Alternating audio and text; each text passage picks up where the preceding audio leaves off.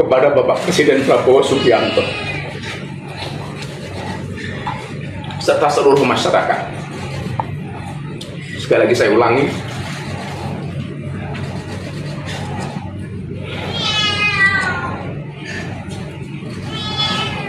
keputusan ini saya ambil bukan karena ditekan oleh siapa pun, bukan karena permintaan siapa pun,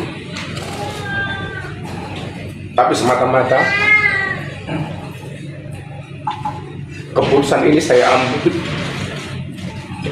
karena rasa cinta, hormat, dan tanggung jawab saya sangat mendalam kepada Bapak Presiden Prabowo Subianto serta seluruh masyarakat Indonesia.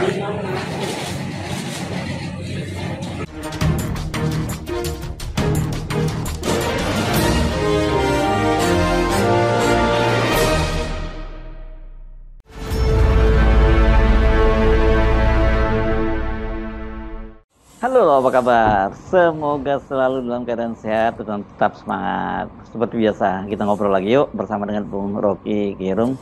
Bung Rocky akhirnya Miftah memutuskan dia mengundurkan diri sebagai putusan presiden. Tapi sesungguhnya yang melakukan blunder-blunder ini eh, di pemerintahan Prabowo itu bukan hanya Miftah ya. Ada juga menteri yang sama sempat ditegur juga oleh eh, oleh sekretaris kabinet Teddy juga ikut ditegur rame-rame oleh netizen tapi uh, dia nggak mengambil sikap uh, seperti Miftah ini. Memang mungkin Miftah ini karena uh, banyak videonya sangat viral begitu ya dan ini ya kemudian membuat dia tidak ada pilihan lain. Karena kemudian bukan hanya kasus penghinaan terhadap pedagang ST itu juga, juga banyak kasus lain yang dia lakukan gitu. Ya dia akhirnya mundur gitu. harus dihormati dan dihargai tindakan eksistensial dari Gus Miftah untuk minta maaf tuh. Saya sebut tindakan eksistensial karena beliau akhirnya tiba pada satu pemahaman radikal ethics tentang kesalahan dia dan terutama sebetulnya ini semacam uh, pedoman awal bahwa mereka yang juga pernah melakukan hal yang sama seperti uh, apa pun kita tahu di dalam era baru dua bulan pemerintahan Pak Jokowi, Pak sorry, Pak Prabowo, beberapa menteri melakukan hal yang juga tidak etis dan harusnya ikuti tradisi ini.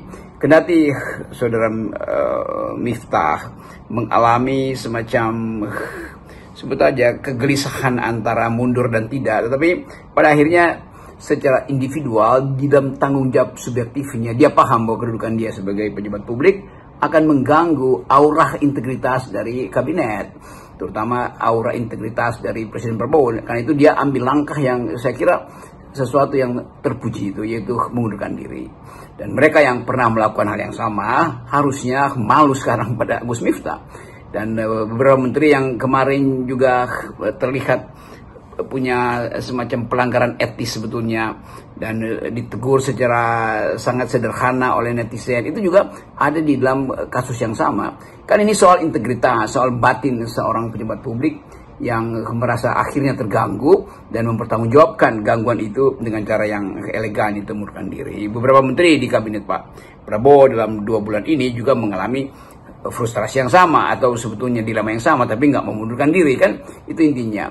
Jadi harusnya ada sopan santun publik yang mulai kita kembangkan. Sekali misalnya e, mata publik menilai bahwa menteri dari e, kabinet Pak Prabowo ini sudah ditegur secara ya sebut aja ditegur secara ramai-ramai oleh kemampuan netizen mesti dianggap bahwa netizen itu mewakili moral publik. Kan itu intinya tuh nggak perlu nunggu dilaporkan ke ke um, apa namanya ombudsman atau di PT UN kan kan ombudsman dan PT UN itu adalah lembaga oversight committee yang didesain untuk menegur pejabat publik. Nah biasanya dalam masyarakat beradab sebelum ditegur oleh ombudsman harusnya si pejabat publik tahu bahwa dia udah bersalah sebetulnya. Kalau di luar negeri ombudsman itu punya kedudukan moral yang tinggi sehingga disentil aja namanya itu artinya udah selesai dia. Uh, uh, uh, hukuman moral dan hukuman sosial pada yang bersangkutan. Maka dia sekaligus pengunduran diri. Tapi di kita kadangkala itu tidak berlaku tuh. Jadi sekali lagi yang di, dilakukan oleh uh, saudara Gus Miftah itu semacam contoh radikal bagaimana pertanggungjawaban etik itu tidak memerlukan uh, persidangan atau bahkan dilaporkan lalu di, di, disidangkan dulu disidangkan secara moral oleh publik itu sudah penanda bahwa ada sesuatu yang cacat dan cacat itu sudah ditebus oleh saudara Gus Miftah. Jadi uh, selamat datang kehormatan. Tapi saya pikir ya, Bung Rocky, publik itu eh, tidak boleh eh, berhenti pada eh, hanya pada Miftah ya, ini netizen terutama ya.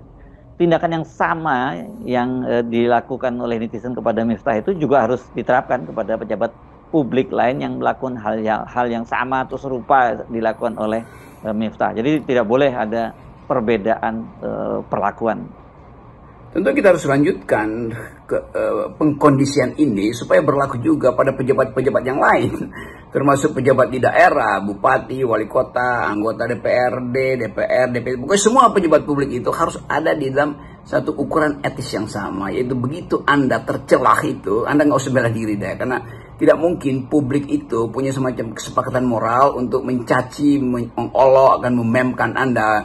Dan, dan uh, baru setelah dimemkan baru mulai sadar. Tapi banyak juga yang ngeles kan? Seolah-olah uh, bisa ditukar tambah dengan sogokan uh, headline atau apa pun yang direncanakan, oleh tim komunikasi dari setiap pejabat publik. Jadi sekali lagi poin yang hendak diucapkan oleh uh, Gus Miftah pada publik bahwa dia mengambil tanggung jawab individual. Secara subjektif dia tahu kesalahannya maka uh, batin moralnya itu mengatakan bahwa dia harus mundur. Tentu dengan segala macam kepedihan yang harusnya dianggap sebagai hal yang sudah seharusnya kepedihan itu atau misteri itu dirasakan sebagai hukuman batin. Kan itu intinya itu. Jadi sekali lagi kita mesti tahu bahwa silahkan Anda mencaci maki, menghukum, mengolok-olok pejabat publik.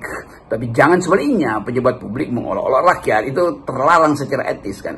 Kenapa? Karena rakyat itu adalah fondamen dari dari uh, penderitaan. Rakyat itu adalah tempat di mana kita mengucapkan janji untuk memuliakan kedaulatan mereka. Kan itu dasarnya. Pejabat publik itu tidak tidak tidak memerlukan martabat di dalam jabatan dia itu. Jadi kalau dia diolok-olok ya biasa aja tuh. Jadi sebetulnya kedudukan noblesse oblis itu yang sering diterangkan di dalam uh, public policy. Noblesse oblis artinya semakin tinggi semakin noble jabatanmu semakin obles uh, obligation kamu itu juga dipertaruhkan atau dituntut lebih tinggi lagi. Yaitu yang disebut sebagai uh, etika tertinggi yaitu begitu Anda punya jabatan maka kewajiban Anda untuk menjaga uh, sistem uh, peradaban itu makin menjadi tinggi. Nah akibatnya Anda juga akan jadi sasaran kritik publik. Tapi jangan dibalik bahwa Anda berhak untuk mengkritik publik atau uh, mengelola publik rakyat biasa itu nggak boleh itu. Jadi sekali lagi kritik dan olok-olok atau satir bahkan cacian itu adalah hak rakyat untuk diucapkan pada para penguasa itu. Dan itu yang uh, perintah amar ma'ruf nahi mungkar itu bukan buat rakyat tapi justru buat pengusaha. Karena pengusaha lah yang paling mungkin untuk mengkhianati prinsip amar ma'ruf nahi mungkar kan? Itu dasar-dasar pikiran filosofinya tuh. Ya sekali lagi kita ingin ucapkan eh, selamat datang kehormatan dan harusnya kehormatan ini jadi ukuran dasar dari pemerintahan Pak Prabowo yang memang menghendaki supaya rakyat itu dimuliakan. Lepas dari perilaku Miftah yang kemudian membuat publik marah, tapi tindakannya meminta maaf dan e, diikuti dengan pengunduran diri, ini bisa menjadi presiden bagi pejabat publik lain yang melakukan juga hal yang sama. Publik misalnya menunggu kapan, misalnya Pak Jokowi, eh, bukan Pak Jokowi, Pak Jokowi sudah nggak lagi ya, yang sekarang Wapres Gibran lah gitu ya, ini kan eh, dia eh, orang mempercayai dan bukti-bukti juga menunjukkan seperti itu bahwa dia seperti dia adalah fufu fafa. Jadi kalau kalau dengan dengan apa eh, dengan standar yang terjadi pada Miftah harusnya dia juga mundur juga dong ya. Permintaan maaf dan dengan tindakan yang mengikutinya yaitu pengunduran diri itu yang disebut sebagai uh, prinsip imperatif dari posisi etis. Jadi imperatif artinya harus dilaksanakan dengan dengan uh, konsekuensi apa pun dan uh, pengunduran diri itu itu justru penanda pertama bahwa seseorang itu dibekali dengan kesadaran terakhir dia dan kemuliaan dia ada di situ tuh. Jadi banyak orang yang bahkan udah, udah tersangka masih ngeles begitu dipidana masih berupaya untuk nyogok hakim. Kan yang kita maksud bahwa seseorang itu memang ada yang memang memilih untuk hidup di dalam keburukan, nggak ada soal, tapi dia mesti bertanggung jawab terhadap keburukannya. Ada yang memilih untuk hidup dalam kebaikan, maka nggak usah dipuji karena memang dia pilih untuk kebaikan. Seperti uh, uh, sensasi dari tagline-nya KPK berani jujur itu hebat. Nggak perlu ada ada tagline itu karena jujur itu ada kondisi awal manusia. Jadi nggak hebat sebetulnya atau memang nggak hebat. Biasa aja tuh jujur itu adalah kondisi pertama dari manusia yang kemudian berubah karena di, di, dibuai oleh keinginan yang melampaui batas kan? Lalu jadi koruptor tuh. Jadi kalau dia memilih jadi koruptor ya udah dia memilih jadi koruptor maka dia harus bertanggung jawab. Jangan jadi koruptor lalu minta maaf. Jadi, jadi koruptor lalu minta diringankan hukuman. Lo itu itu namanya koruptor yang dungu koruptor yang bermutu. Itu dia tahu konsekuensinya tuh. Jadi manusia itu dituntun oleh konsekuensi yang dia pilih sendiri dengan dengan akibat yang dia tanggung sendiri karena dia berpikir rasional. Kan itu dasarnya kan. Itu yang disebut sebagai telos dalam uh, filsafat Aristoteles. Setiap orang itu ada telosnya tuh. Dia memilih itu maka dia harus bertanggungjawabkan itu. Itu sekaligus juga yang disebut sebagai uh, uh, apa namanya tuh uh, kekesatriaan itu. Walaupun sifat kata kesatriaan itu seolah-olah dia uh, bias patriarkis. Tapi yang penting adalah pertanggungjawaban etika di situ. Nah, keutamaan yang dimaksudkan oleh para uh, bijak bestari, keutamaan. Artinya seseorang memilih dan dia bertanggung jawab atas pilihannya itu. Dia keliru maka dia bertanggung jawab atas keliruan itu dengan tindakan yang harusnya paling radikal yaitu uh, mundurkan diri itu. Bahkan di dalam sistem etika konfusianisme atau etika timur itu bisa lebih tegas lagi ya. Pejabat di Korea atau di Jepang itu begitu dia merasa dia bersalah secara etis dan dan kesalahan etis itu seolah-olah tak termaafkan maka dia bunuh diri bahkan jadi pertanggungjawaban etika itulah yang mendahului pertanggungjawaban uh, politis atau hukum itu dasar dari uh, etika publik apa yang menimpa Miftah ini adalah drama politik yang ini berlangsung sangat cepat ya. Ini hanya dalam uh, hitungan ya satu pekan begitu ya. Tekanan publik yang sangat masif, bahkan sampai mengundang perhatian kepala negara jiran uh, Perdana Menteri Anwar Ibrahim. Ini kan membuat Miftah dan saya yakin ini Pak Prabowo itu pasti adalah di di balik apa dorongan untuk pengunduran diri Eh, pada Miftah ini. Ketimbang harus melakukan pemecatan eh, ketimbang harus dilakukan pemecatan. Kan itu dampaknya lebih buruk pada Miftah. Pada akhirnya ada satu statement yang mesti kita ucapkan itu bahwa mata netizen itu itu tak mungkin lagi terhalang oleh eh, tipu-tipu lembaga survei. Netizen bisa menembus lembaga survei. Kalau lembaga survei bilang ya orang ini baik, orang ini bagus, orang ini bermutu. Kalau mata netizen sudah katakan sebaliknya, maka percayalah bahwa mata netizen itu ada kejujuran terakhir di dalam di republik ini karena oposisi sebagai mata publik tidak bekerja. Jadi itu konsekuensi dari pengendalian opini publik. Maka yang viral di media massa oleh uh, cara pandang kritis netizen itu yang akhirnya jadi panduan masyarakat. Jadi kalau tekanan pada akhirnya datang dari segala penjuru kota itu pada Gus Miftah itu artinya ada rasionalitas, ada determinasi etis yang masih dimiliki oleh manusia-manusia Indonesia. Itu yang kita andalkan sebetulnya untuk mengawasi kekuasaan, mengawasi legislatif, menguasai eksekutif, bahkan menguasai yudikatif. Jadi sekali lagi, uh, satu minggu ini drama itu akhirnya bisa diselesaikan secara tragis, tetapi dalam tragika selalu ada pelajaran moral. Dalam tragika selalu ada pesan etis. Nah itu yang kita anggap sebagai uh, kemuliaan di dalam demokrasi itu.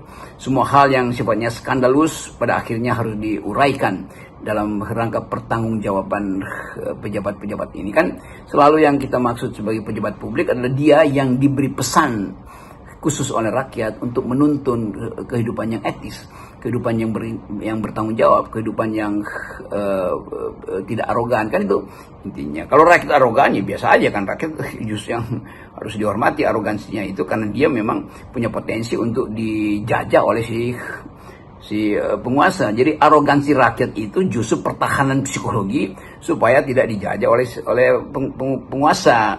Tetapi kalau penguasa yang arogan itu artinya dia menghina eh, mandat yang diberikan oleh rakyat padanya. Nggak boleh ada pejabat publik yang arogan, nggak boleh ada pejabat publik yang secara suka-suka memamerkan kesombongan tuh. Pak Jokowi misalnya itu dia udah uh, harusnya dia juga mundurkan diri dari awal karena dia menghina rakyat dengan jalan uh, membagi-bagikan, melempar-lemparkan uh, apa namanya itu hadiah-hadiah dan merendahkan. Itu tindakan yang merendahkan rakyat juga lalu berbohong terhadap APBN itu juga menipu rakyat kan. Jadi kalau kita pakai standar itu, maka yang dilakukan oleh eh, Gus Miftah itu juga harus berlaku pada Jokowi. Sebetulnya begitu. Kalau kita mau masuk dalam rasionalitas tertinggi dari apa yang disebut sebagai uh, moral determinasi atau moral imperatif. Tetapi oke, okay, ada tahap di mana kita mulai untuk memperbaiki sikap etis dari para pejabat publik kita. Salam akal sehat. Dari FNN, salam akal sehat.